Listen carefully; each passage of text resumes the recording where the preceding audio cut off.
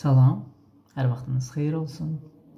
Yaradılış kitabı 24-cü fəsil deməli İbrahim qocalıb və öz xidmətçisinə tapşırır ki, onun oğlu üçün, İshaq üçün xidmətçisi getsin və aha, evlənmək üçün xanım tapsın, arvad tapsın.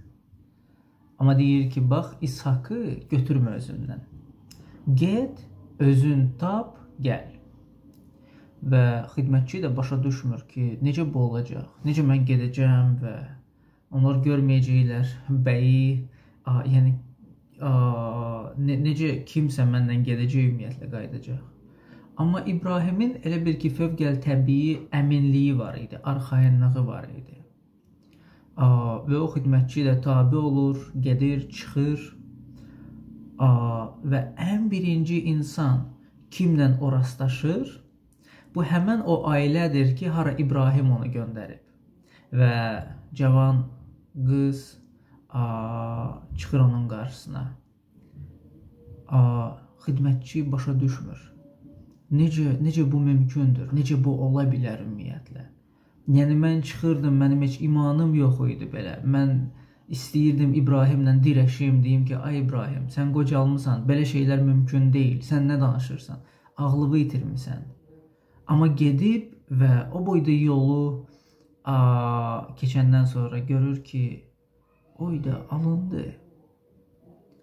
A, 21-ci bənd yazılıb o adam sakit duraraq heyrət içində qıza baxırdı ki, Rəbbin onun yolunda xeyir-dua verib vermədiyini bilsin. Bu adam baxır və, deyir: "İnana bilmərəm. İnanılmazdır." Bilirsiniz, mən düşünürəm ki, bu sözlər a, ancaq bir vaxtda, ancaq bir vəziyyətdə a, doğrudan da yaxşı ruhda deyilə bilər. O vaxt ki, mən Rəbbin təminatının bolluğunu görürəm mən heyrət içində baxıram baş verənlərə və deyirəm, inana bilmərəm. Bu, bu axı mümkün deyil, amma mən bunu yaşayıram. İnana bilmərəm, inanılmazdır bu. Mən heç söz də tapa bilmirəm. Sakit dururam və baxıram və bunu a, bunu bu xidmətçi yaşayıb. A,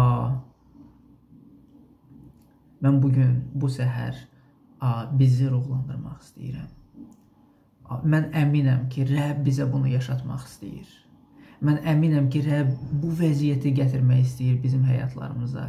Yerləşdirsin bizi bu təminatın bolluğuna ki, biz baxaq və və doğrudan da söz tapmayaq və deyək: İnana bilmərəm. Bu bu axı mümkün deyil idi.